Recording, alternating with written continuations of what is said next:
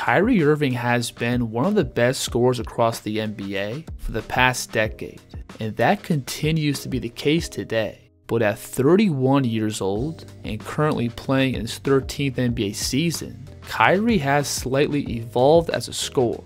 And in this video, we're going to take a closer look at the film and stats to see exactly how he's doing that. Now, throughout Irving's entire career, the foundation for his game has always been his three point shooting. If we look at Kyrie's shooting spreads from his 2016 run with Cleveland, his biggest chunk of field goal attempts came from behind the line, and that continues to be the case today. Now, whether Kyrie is playing in transition, isolation, or pick and roll, his first option is to always look to shoot if he has space. Irving is very comfortable pulling the trigger off the catch and dribble. Plus, he's also one of the league's best tough shot makers.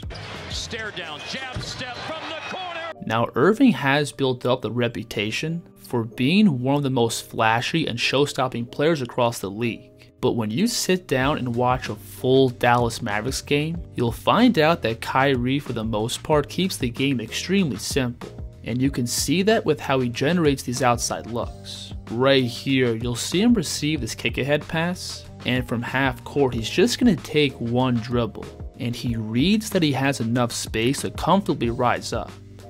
Now he's going to receive this pitch into a ball screen, and without taking a dribble, Irving already reads that he has enough space to step into this left-right 3 right off the catch. One of Kyrie's best shots is this simple one dribble pull up right off the screen. Irving gets at least 3 or 4 of these looks off every game, and what makes this shot so deadly is both how decisive Irving is when coming off the pick and how efficient his footwork is into his shot.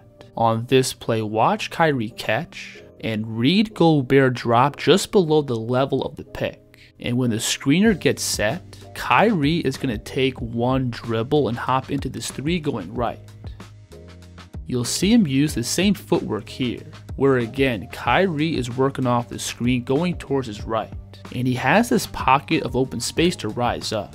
So Irving is going to simply take one dribble and hop on two feet to elevate up. This shot right here is low-key tough, where Kyrie is now going to take one dribble to his left for a pull-up, but notice how much ground he covers with just one dribble, and watch him here let the ball hang as he steps his feet around to get squared for the pull-up. And then of course, Kyrie also has plenty of ways to generate three-point looks in isolation. This hezzy pull-up is one of his go-to moves, where Irving is going to go between, then skip his feet up selling the right hand blow by. And when he steps into the shot going right left, notice how he pushes the defense's momentum back, which now gives Irving plenty of space to rise up. This is a nice variation off that move, where Irving is going to again go between and lift up into a hezzy. But now to create additional space, Kyrie is going to bring his back foot across and punch off it into a step back. That's six rebounds for Tillman, but the Dallas Mavericks big as we see Kyrie. And what also makes Kyrie so hard to guard is that he has countless of counters layered into every single one of his moves. Watch him here get back to that between and skip. But notice how the defense this time is going to step forward, which then causes Kyrie to explode downhill into the drive, to then slam the brakes and separate for a midi.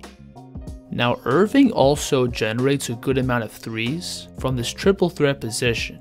And again, Kyrie from this spot keeps the game really simple. If the defense crowds his space, Kyrie is going to use both his quick first step and shiftiness to create a driving angle. But if the defense does give him space, Irving will simply rise up into a 3. You'll see him here matched up against a 6'10 Jaden McDaniels, and Irving is able to get him skating back with these jab steps, which then creates a window for him to rise up.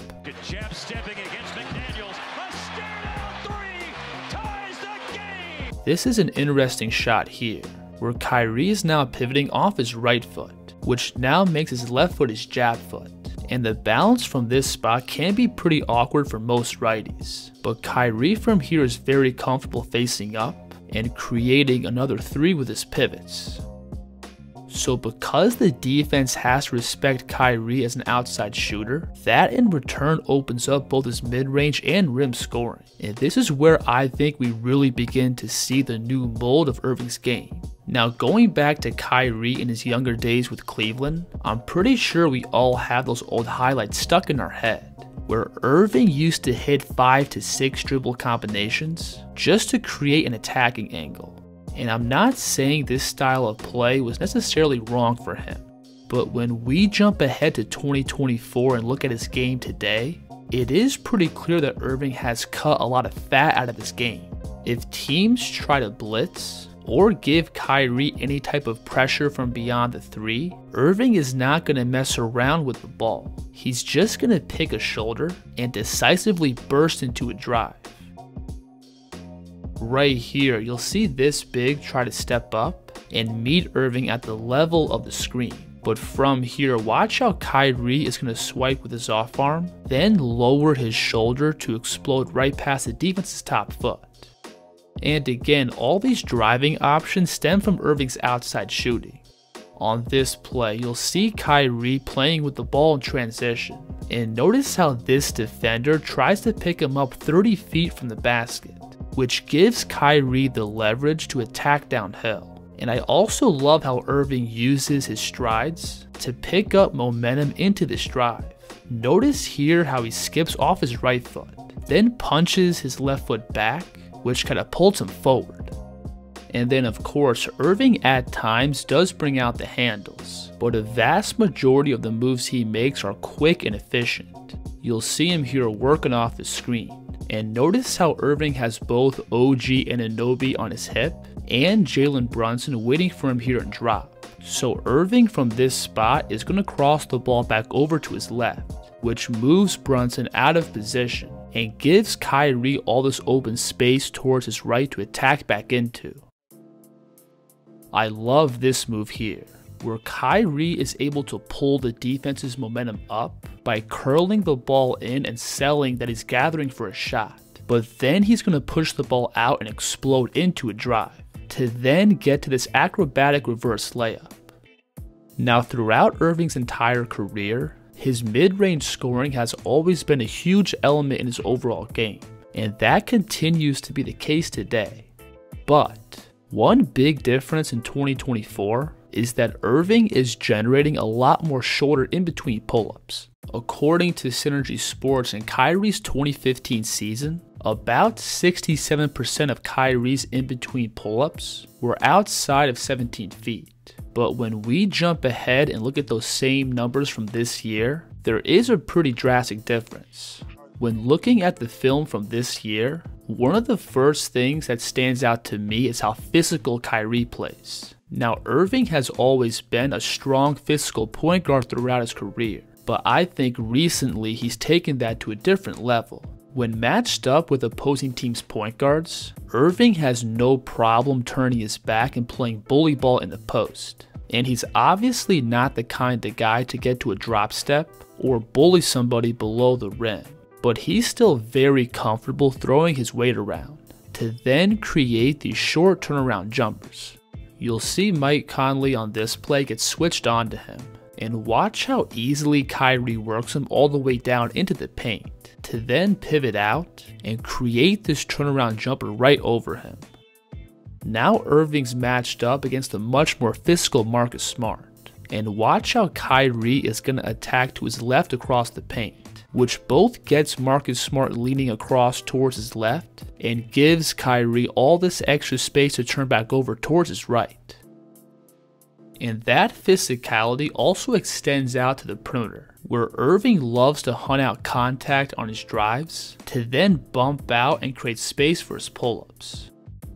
Watch him here get the outside driving angle on the defense. Then notice how Irving veers back into his man to then bump out towards his right and create a window to rise up.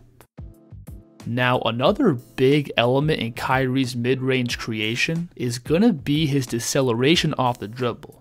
Irving is elite at using the threat of his driving to open up the defense's hips, to then slam the brakes and separate for a pull up.